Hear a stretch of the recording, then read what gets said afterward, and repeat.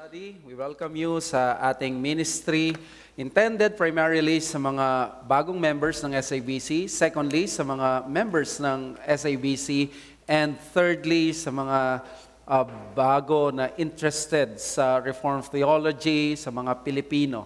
So we are one uh, we want to uh, uh, give some teachings about the fundamentals of Reformed theology. It is our intention that these lessons would be friendly lessons para sa ating uh, uh, pangunawa na mas maunawaan ang Reformed theology. At nandito nga tayo sa 1689. We are on the 45th na lesson and our uh, chapter na pinag-aaralan is that famous chapter 11 ng uh, uh, 1689, which is the doctrine of justification, one of the most important and most cherished doctrines ng Reformation. That is why we have spent and we are spending one month for this chapter. And for our final lesson, we will proceed to the fifth paragraph ng chapter 11, which talks about the justified people. Will they be able? Will will they ever be? Uh, will they ever fall?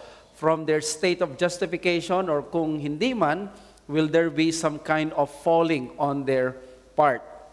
Uh, usap-usapan sa mga nakaraang panahon, yung uh, sa mga nakaraang linggo sa mundo ng uh, social media at ng Philippine showbiz, yung isang nanay na nagkaroon ng transgender na anak, uh, uh, perso- TV personality before yung nanay but now professing Christian and she stood doon sa principle ng uh, Christian teaching na ang uh, ginawa or desisyon ng kanyang anak ay hindi uh, isang tamang desisyon.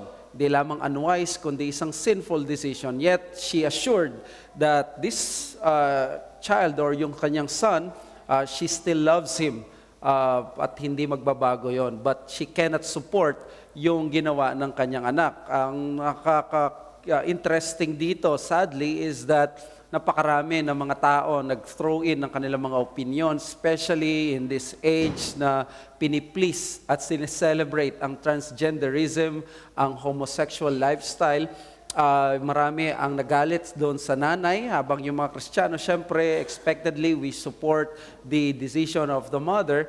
Pero ang gusto kong ipakita dito is that yung pananaw ng mga unbelievers at ng mundo na if you truly love the person, yung anak mo, you have to support that son kahit sa decision niyang ganito, which is obviously according to the Bible, is a sinful decision and a sinful lifestyle at mapapahamak lamang siya doon. So according to the scriptures, that's very clear. At uh, ito yung isang hindi maintindihan ng maraming tao ngayon that for us as Christians to say that we love uh, our, the, our we love people, we love others, especially our children, uh, tayo ba ay uh, inconsistent ba ang pagmamahal na ito kapag tayo ay nag-disagree sa kanila? Well, it appears doon sa, sa unbelieving world ngayon, uh, to love a person means you cannot disagree with that kahit na anak mo ito. Uh, masalimot ang ganitong lesson at ganitong mga prinsipyo, uh, kaya naman isa rin ito sa mga tanong nating mga mananampalataya, paano naman nag-work ito sa pamilya ng Diyos? Kung ito ay isang uh, uh, maselan na issue uh, na pinag-uusapan sa pamilya ng tao, how about in the family of God? Kaya dito sa ating lesson, we use that word justified to talk or to point to these people na anak ng Diyos. So therefore, makikita natin ang Diyos sa mga tao na niligtas niya, paano niya ba itinuturing ang mga ito? Uh, will they ever fall mula sa kanyang biyaya or is there something na matatawag nating they can still fall? Yan ang lilinawin sa atin ng chapter 11, paragraph 5. But to have some uh, introduction dito sa ating lesson, sa John chapter 10 verse 28, I give them eternal life and they will never perish and no one will snatch them out of my hand. This is not, of course, to uh, condone yung kasalanan ng mga tupa. Ang emphasis ng John 10.28 is the strength of the promise of Christ sa kanyang mga tinuturing na mga anak. Hindi daw niya hahayaan na may kapangyarihang mas malakas sa pagliligtas ng Diyos at ng Panginoong Yesus na may makakakuha sa mga tupa mula sa kamay ng Panginoon kung ito ay tupa niya. Ito yung power ng justification. Kaya naman ang justification by faith alone sa na-discover ng mga reformers noong 1500s, ito yung article by which a church stands or falls. In other words, nung panahon ng Reformation, ang mga kat, ang mga Katoliko, they still believe in the fundamental teachings of the church of the Bible like the Trinity, the deity of Christ, the uh, sinfulness of man.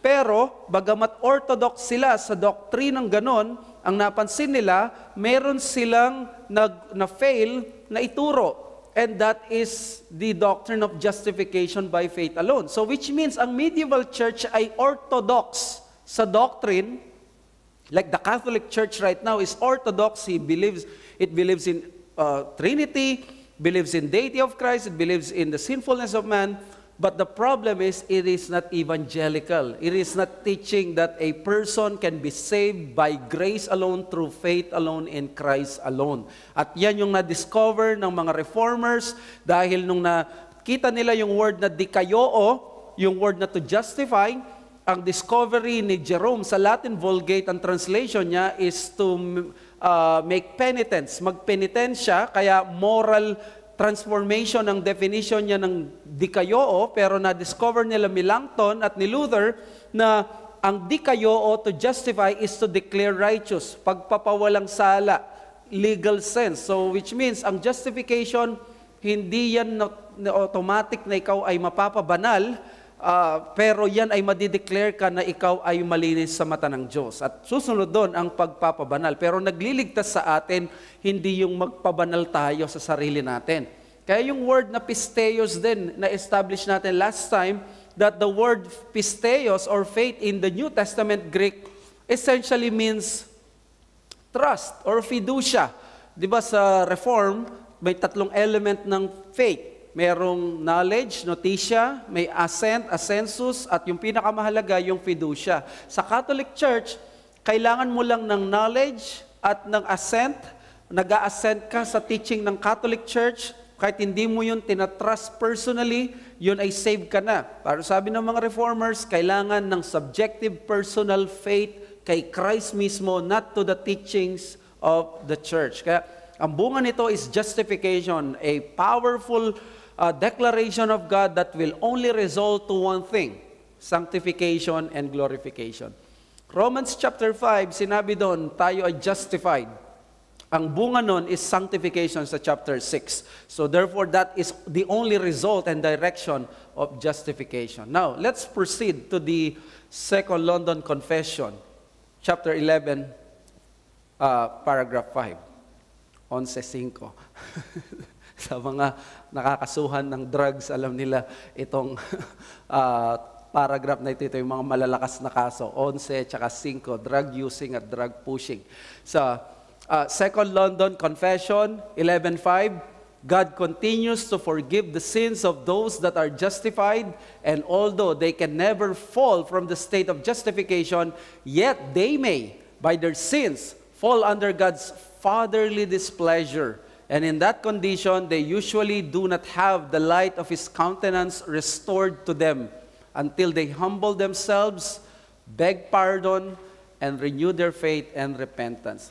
So simple, pero napaka-profound.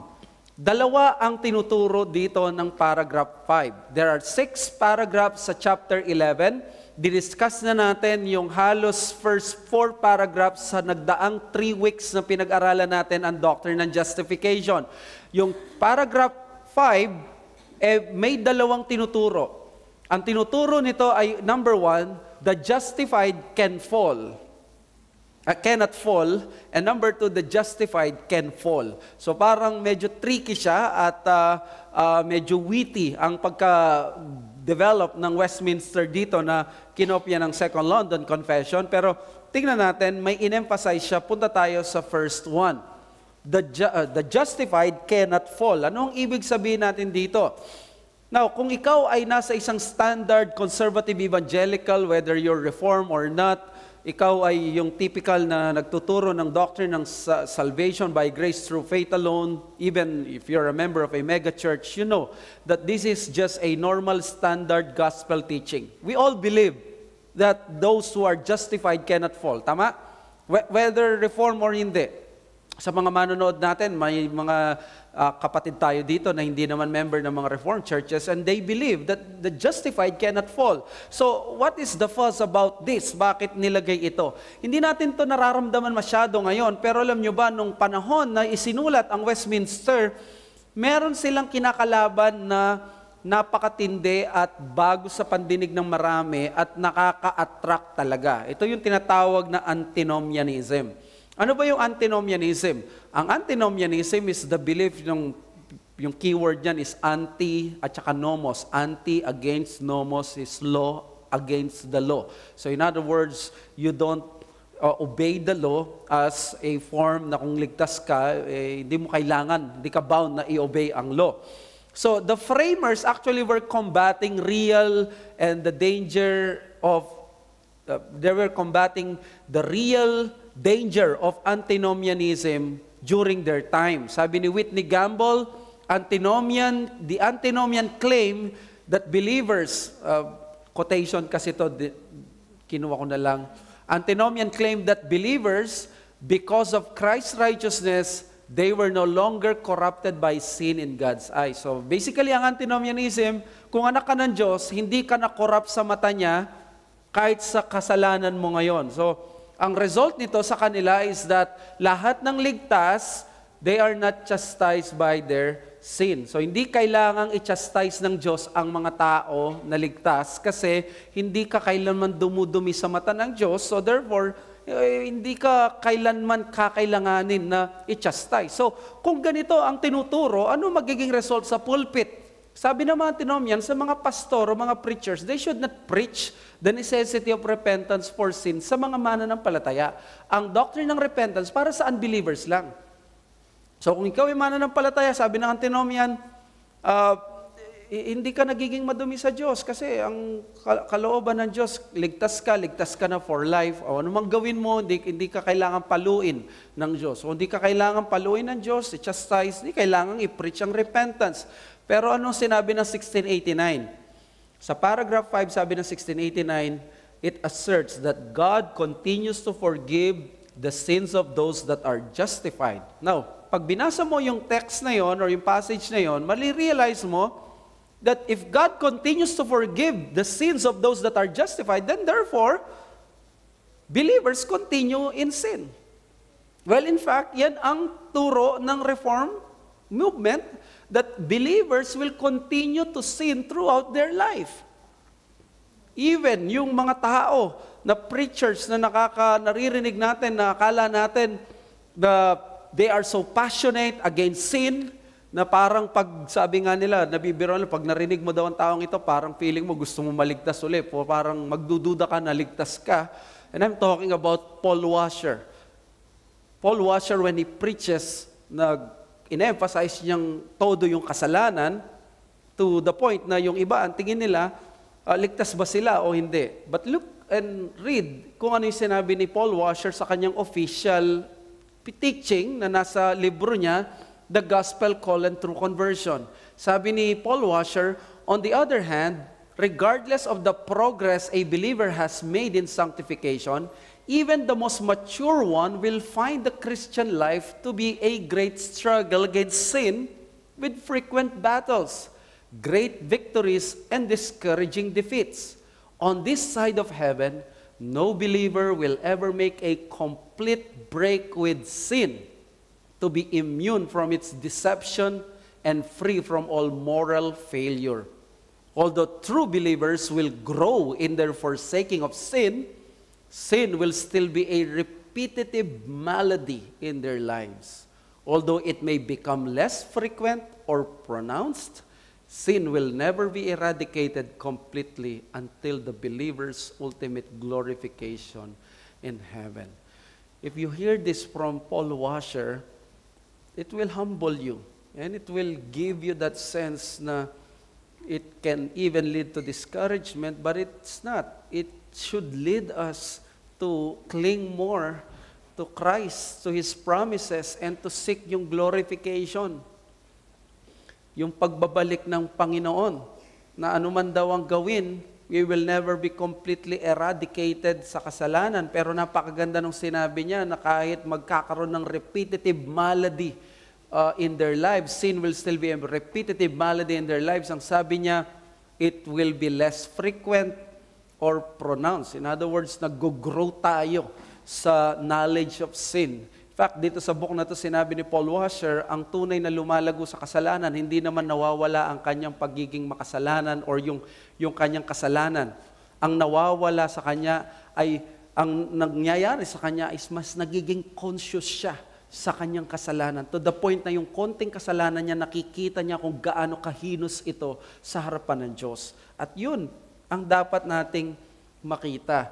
Kaya nga ang mas mainam, no, na tingnan mo kung tunay kang mananampalataya, hindi consistent victory, kundi consistent struggle is the more reliable mark of the of true repentance in a fallen man. So kung ikaw ay tao, nahul, nahulog sa kasalanan ng tao, kung ikaw ay ligtas, ang mas uh, nangyayari sa isang mananampalataya, consistent struggle. Kung wala nang struggle sa iyo, it is just right to ask yourself whether you are in the faith, but not consistent victory. So, uh, number two, against unsecure justification. Ang paragraph na ito, uh, sinasabi din niya na ang justification natin ba ay secure or unsecure? Well, sinasabi ng paragraph, secure ang justification. Ang sabi niya doon sa paragraph, they can never fall from the state of justification. So presently, may mga extreme churches, charismatic churches, and cultic groups that reject the historic doctrine of perseverance and or eternal security of believers. Now, ang eternal security ng mga mananampalataya is not a distinct uh, doctrine of the Reformed churches. It is a doctrine na kahit mga Armenians, they hold to this eternal security. At least, hindi sila losing salvation. Pero, ang sinasabi natin dito, itong mga tao na nagsasabi na para ikaw ay manatiling ligtas o nawawala ang kaligtasan mo, actually, maganda yung kanilang intention sa una. They are reacting to the real danger of antinomianism. At sabi nila, we reject antinomianism na parang wala ka ng pakialam sa batas ng Diyos kung ikaw ay ligtas. Uh, di ba, sabi ng mga kulto, mga Baptist sa lawula daw dahil tinanggap nila ang Panginoong Yesus pero namumuhay sila pa rin sa kasalanan. So, therefore, uh, ito yung antinomianism. Sabi nila hindi ganyan. So para para ma-counter nila yung antinomianism, they offered another solution, but it is an extreme solution. At ano yun? Tinreten nila na magpo-fall away sa grace ang mga tao na mananampalataya. At ginamit nila yung dalawang text sa Bible. And this is the most humanly logical solution. Actually, kung ikaw ay magpapakatao ka lang, uh, wag mo i-consider ang Bible, ito talaga yung natural na gagawin ng isang tao na may noetic fall of, noetic effect of sin. Kung may kaligtasan, para makip mo ang tao na manatili siya sa na aya-ayawin niya yung kaligtasan, ang pinaka-human logical solution talaga is i-threaten mo siya. Aalisan kita ng kaligtasan. Naririnig niyo yan minsan, di ba? Uh, dapat sa iyo mawalan ng kaligtasan. Those times na napaka-immature natin. This is the humanly, na humanly logical solution natin. But this is not the nature of grace. At ang ginagamit nilang text ay Galatians 5, 3 to 4 and Hebrews 6, 4 to 6. Sabi dito sa Galatians 5, 3 to 4, I testify again, again to every man who accepts circumcision that he is obligated to keep the whole law.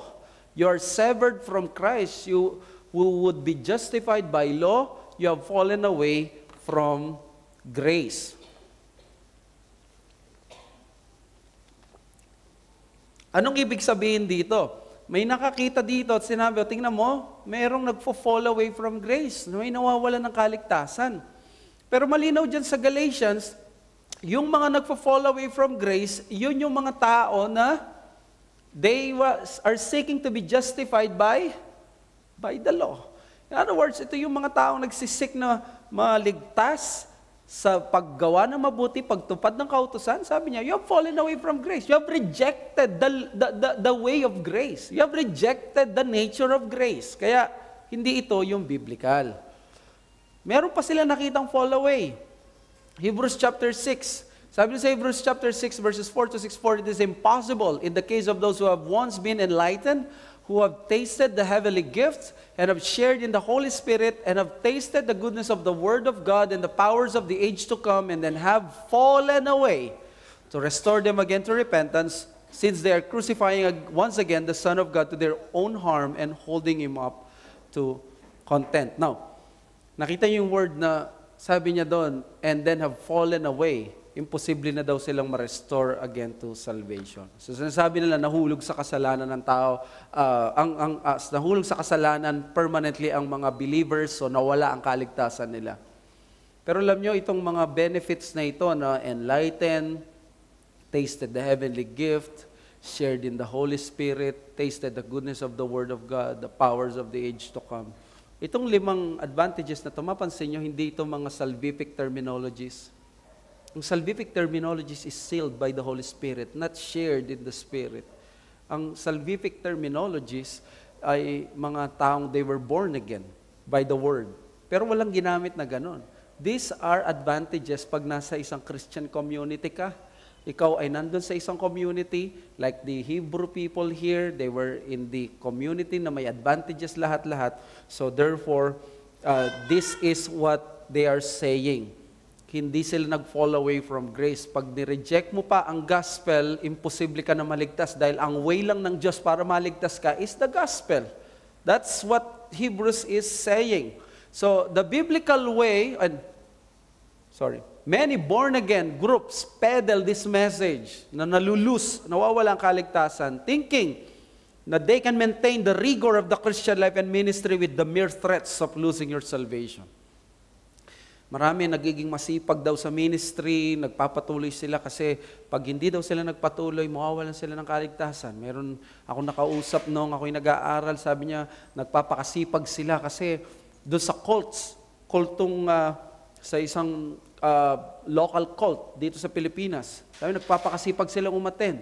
Kasi pag hindi daw sila umaten, mawawalan sila ng kaligtasan kasi ang kaligtasan nandun lang sa religion nila.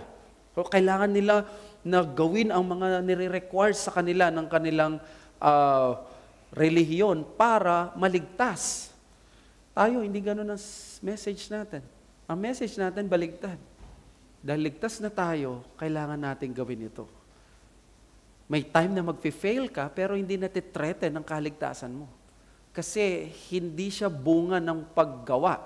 Ang paggawa ay bunga ng pananampalataya, ng kaligtasan. So, eto, the biblical way for those who are justified to reject sin. And I think this is this is the most important lesson dito sa aking lecture tonight. And I and I and and I like this because this is a lesson doon sa binabasa kong book as my meditation. The biblical way for those who are justified to reject sin is not through the threat of losing their salvation, but the promise of the gospel of grace.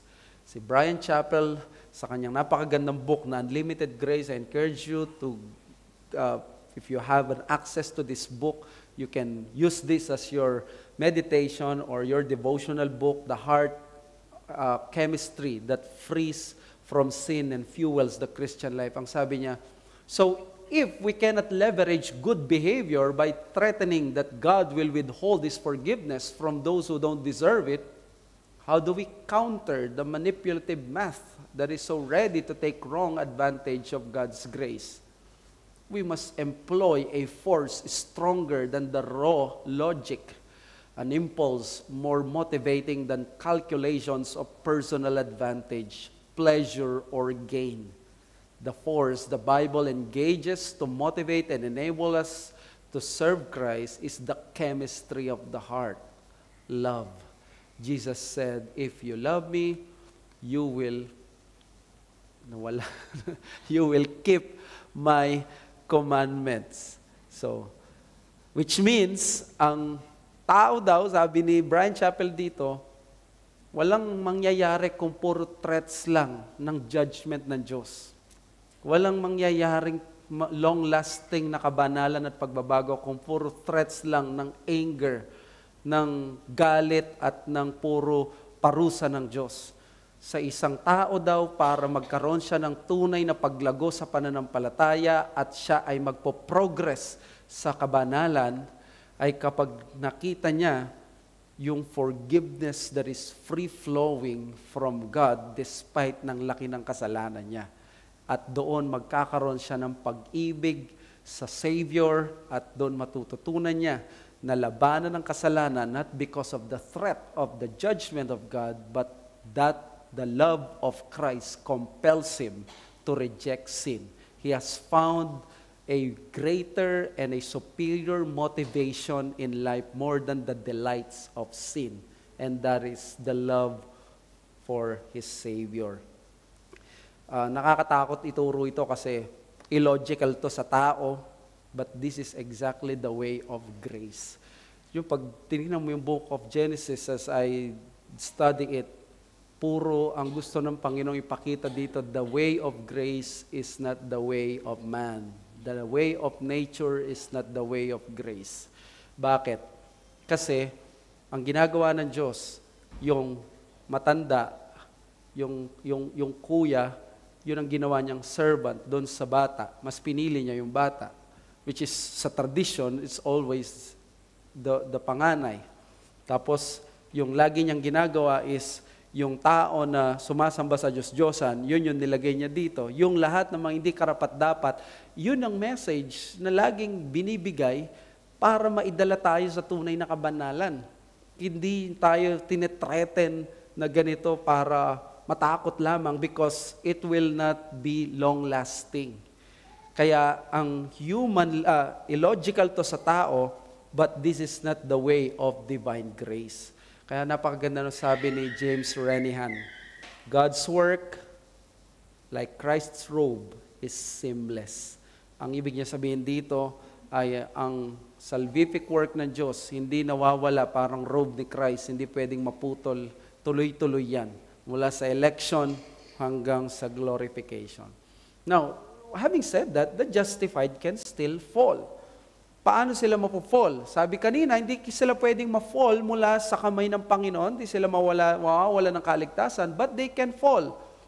Ano itong fall na to? They can fall according sa paragraph 5 under God's fatherly displeasure.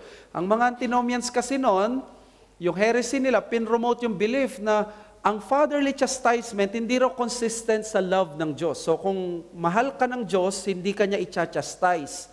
Ang result ng mga antinomians na ito, they did not care how they live their lives. Pero ang mga Puritans, nilabanan nila ito vigorously. Yung very opposite yung tinuro nila. Since God, God's, I'm sorry, since God loves His children, He chastises them as children, not enemies. Tingnan niyo si Thomas Watson sa A Body, A Body of Divinity, sa sa ating social media culture sa Pilipinas sa reform, eh, dati work ito, dati book ngayon, tao na eh, no?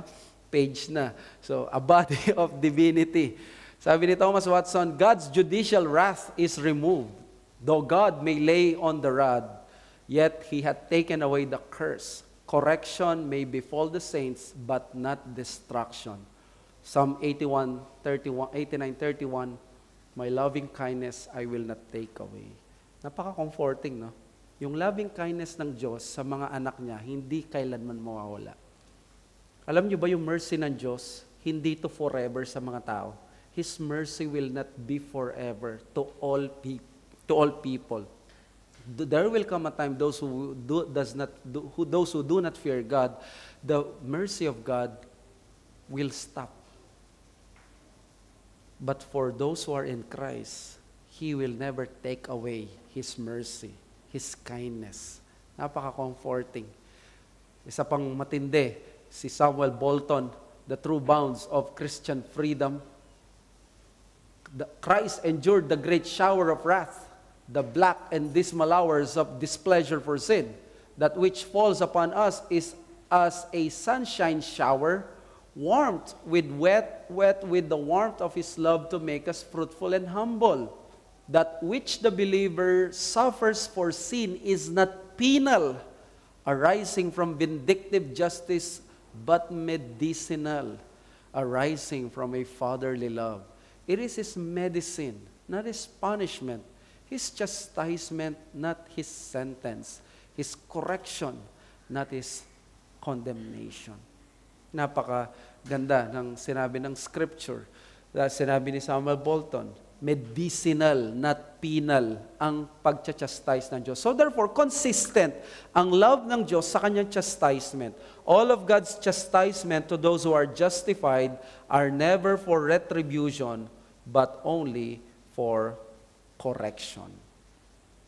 Number two, return from God's fatherly displeasure. Sabi ng paragraph 5, as we end, bago siya nag-end ng paragraph 5, sabi niya, we can fall not from the state of justification, but from fatherly displeasure. But we can return from fatherly displeasure to the to God's fatherly pleasure. Ano daw ang dapat gawin? Number one, humble themselves. Sa Bible, lahat ng example ng mga taong pumupunta, bumabalik sa Panginoon, they begin with humble realization before God. Bigyan ko ng dalawang example sa book of Luke, the prodigal son. Luke 15, 17 to 19, ang sabi niya doon, Father, I have sinned against you. Bago niya yung sinabi sa, sa Diyos, na-realize muna niya yan. Yan ang kanyang reflection. Sabi na Luke 15, 17 to 19, But when he came to himself, he said, How many of my father's hired servants have more than enough bread, but I perish here with hunger. I will arise and go to my father, and I will say to him, Father, I have sinned against heaven and before you. I am no longer worthy to be called your son. Treat me as one of your hired servants. Alam niyo, humility, hindi ito galing sa puso natin na makasalanan. Biyaya ito ng Diyos, kaloob ito, grace ito. So which means fruit of the Spirit ito. Kaya isa ito sa, sa dapat i-cultivate natin, yung humility. Sa generation natin ngayon, marami sa atin ang matigas. Marami sa atin ang proud. We cannot be corrected We cannot humble ourselves even though we are presented with a clear teachings ng Scripture. Ganito tayo katigas sa harapan ng Diyos apart from His grace. Kaya tingnan nyo yung tax collector sa Luke 18.13, God be merciful to me, a sinner. But the tax collector standing far off would not even lift up his eyes to heaven, but beat his breast, saying, God, be merciful to me, a sinner. So, Nandun yung humility. At anong mangyayari? God's response to humility is always one of grace. James 4, 6 to 7. But He gives more grace. Therefore it says, God opposes the proud but gives grace to the humble. Kanina niya binibigay yung grace sa mga humble. Submit yourselves therefore to God. Resist the devil and he will free, flee from you. So if we humble ourselves, the response is always one of grace mula sa Diyos. And number two, beg pardon, sabi ng paragraph 5. Ano ba yung beg pardon? Ang ibig lang sabihin nito, yung humble realization na tayo makasalanan, it should always lead us to seeking the pardon of God. Any realization that does not lead to the begging of God, Bawa, na-realize mo, ay, nagkasala ako, makasalanan ako. But it will not lead to the to begging God the pardon na kailangan mo is not true humility, it's not true humble reflection of sin, but it is a subtle form of pride couched in the language of humility. Tama? Ang daming mga tao, sabi nila, o oh, sige, tanggap ko na, makasalanan ako. Sorry, sorry ha. Papamukha pa sa'yo yung sorry. Di ba? They are not really repenting. They are not really grieved with their sin. Magiging sarcastic pa yan sa'yo. So sorry, hindi ako perfect tulad mo. Any realization of this kind of sin na hindi maglilid sa pagbebeg ng pardon is actually a form of pride. If we truly admit that we are sinful and we are, hum- we are humbled by our sins, it should lead us to go to God para humingi ng kapatawaran. Such practice may simply be an attempt to appease one's conscience, but not to cleanse through the means of God's pardon. A classic example here is that magnificent building in Cebu called Leia's Temple. Leia's Temple was built, sabi doon sa nakalagay doon when we visited it, I have built this with the with the technique and the uh, with the genius of the Greek ng style Parthenon and with the kind of building that uh, parang technique na ginawa ko at ginastusan ko to, it will last until a millennium, for a millennium. Ganun katindi yung Temple of Leia. Para daw ipakita niya yung pagmamahal niya sa kanyang asawa. But what happened in the story is, nung buhay yung asawa niya, he was a womanizer. He neglected his wife. So, in according to some write-ups, he built that temple to appease his conscience because that's the only thing that he can do. Oh, pagdating sa Diyos, we do not recognize our sinfulness and then we just stop there and then we appease our conscience. Oh, eh, ginawa ko naman to at least. No, we beg God's pardon kung wala ka na magagawa doon sa uh, nagkasala ka but you continue to reach uh, reach out to God in mercy and beg for his pardon. Yan ang tinuturo ng scripture. And then you renew your faith and repentance kasi sa Bible the commands to repent and believe in Mark 1:14 to 15 are all present tense in the Greek.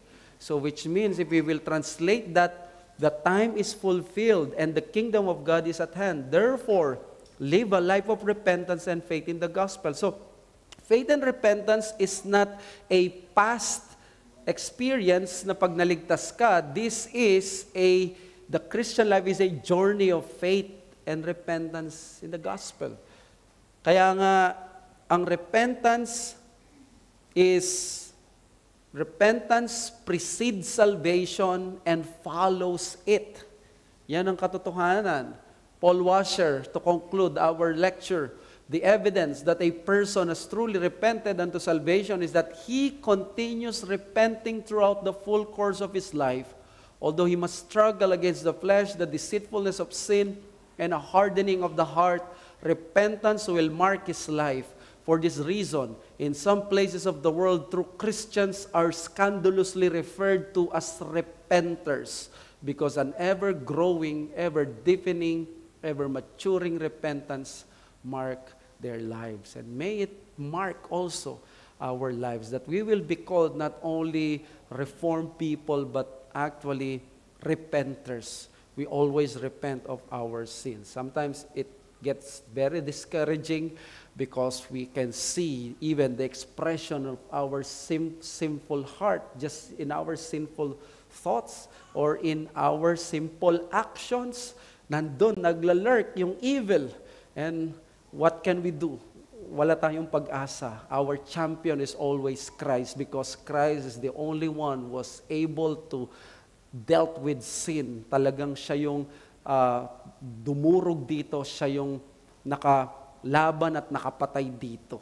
Kaya nagre-reach out tayo kay Christ. He not only has uh, accomplished our the law for in behalf of us, he was also he also died because of our sins. So therefore, ang Panginoong Yesus ang ating pag-asa pagdating dito and then of course nawa mag-grow tayo sa pag-ibig sa ating Savior dahil dun tayo mas magkakaroon ng hatred for sin. A growing love for Christ cannot have a growing love for sin. A growing love for Christ will only result to a growing hatred for sin. Any question?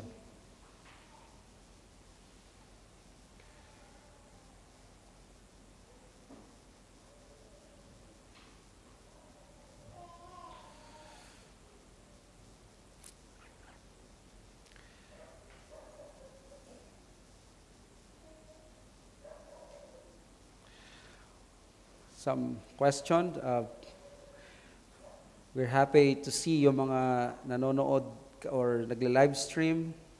uh, sila Pastor Lester John Abellas, sila John Patrick Meman ng SGC. Good evening po, watching from Manila, Philippines. Hello kay uh, bayaw ko, my beloved bayaw, Paul Rindo Kapulong. Si Nanay Arlene at uh, oh, si Maria Teresa. Uh, God bless sa pagbubuntis mo. Merong bang question dito? Cecilia Sadora, sa mga members po namin na nandito, uh, nakita ko kayo, ibatiin na lang natin yung mga tagalabas. Si Ruel Adaw, Jana Peñarada, Elsie Santiago, watching from Dubai, Ralph Kevin Fajardo. Hmm, sino yun? Kala ko may question. Clark Abuhela. Thank you, Pas. Very comforting message. Leandro Malibiran. Good evening po, Pastor Ramen. Thanks po sa message. Ask ko lang po, paano po mas mapapaliwanag po yung Hebrews 6, 4 to 6? Ah, maraming way to explain Hebrews 6, 4 to 6 na hindi ito nagtuturo ng falling away from salvation kasi tinutukoy niya day, day. Tapos meron niya, sabi niya pagdating sa verse 10, you, you have, uh, you, kayo na may better hope. In other words, may mga tinutukoy siya mga tao na hindi katulad ng mga taong kinakausap niya. So yung mga kinakausap niya, yun yung mga tunay na ligtas. Pero itong mga taong ito, they were not truly converted, kaya imposible pa sila na ma- maligtas if they have rejected the very means that God has provided for them. So, uh, yun yung uh, way to explain that, yung sa textual approach. Now, we can also have thematic approach if we see yung systematic theology, the Bible does not teach yung uh, pagkaalis ng kaligtasan. Marami ang mga nag-identify, in-identify kasi sila nasa community sila ng believers. Parang sa church, di ba? May nakapasok ng believer, naging member siya. Pag nandyan siya sa community, they are considered, they are addressed as believers. Pero later on, they will show uh, up and then hindi pala sila tunay na ligtas. So, apparently ganito ang nangyari dito. They, they were able to identify themselves as part of the community, kaya tinuturing silang ligtas. But the truth is, they were never saved. They were never converted. Raul Roja Farito, in Luke 15:24 said, died but live again, lost but found. Ano pong ibig sabihin ng Lord sa verse na to, Pastor? Thank you po. Ang ibig sabihin dyan na my son was, the, uh, has, uh, was dead and now is alive again. This is just a figure of speech to talk about yung uh, kanyang uh, waywardness or rebellion to his return and repentance pagbabalik sa Father. So, i-apply mo yon sa soteriology sa salvation. Ito yung life na siya ay nagrebelde, hindi siya mananampalataya, nagrepent siya at siya'y naging mananampalataya. So, that's it. Yun yung ibig sabihin ng text na ito. Hi, Pastor. Yan po bang sanctification ay synergistic or monergistic? I'm not really comfortable with the word synergistic or monergistic. Kasi kapag sinabi mong synergistic, ang sanctification is parang kombinasyon ng dalawa, parang kailangan yung puwersa ng tao, tapos uh, uh, puwersa ng Diyos. Parang, alam mo yun, may, may effort na na-emphasize yung ano ng tao. Pag sinabi monergistic, pag sinabi monergistic, ang, ang Diyos lang, parang nalilive out naman yung responsibility ng tao. I follow yung pananaw na since we are united in Christ, ang sanctification natin is embedded. We are united, we are one in Christ, at since tayo ay uh, in union with Christ, tayo ngayon ay uh, hindi lang combination, kundi tayo ay uh, nakalimutan ko yung terminology na ginagamit. Uh, I got that from Dane Ortland. I have taught that sa Sunday school namin, the best way to see yung sanctification. Uh, probably I'll, I'll, I'll review it kung ano yung term na ginagamit namin doon. I'll, I'll go back to that, uh, Brother Daniel Pilarta. Uh, next week I'll try to mention it before you or after ng aking teaching. Okay? So, maraming salamat po. Uh, Napansin ko maraming pagkain kanina, so kailangan na namin mag-end dito. Okay? So, let's pray. Father, we thank you sa mga kapatid namin na sumubaybay sa amin at mga members na pumunta dito. May you bless our fellowship here in the church, but also itong lesson namin, Hindi ito mag-lead sa antinomianism, hindi rin mag-lead sa losing salvation, mag-lead ito sa ever deepening na pag-ibig namin kay Christ which will make us repenters before you. That we have repented before and we will continue to repent sa aming mga kasalanan. Kung may mga tao dito na nadi-discourage sa kanilang sinfulness, nawa magdulot ito ng comfort. Kung may mga tao dito na naging komportable sa kanilang kasalanan, nawa matreten sila sa chastisement but only because of the love of God in Christ na gusto niyang ma-restore sila. Thank you, Panginoon, sa bagay na ito. We ask this in Jesus' name. Amen.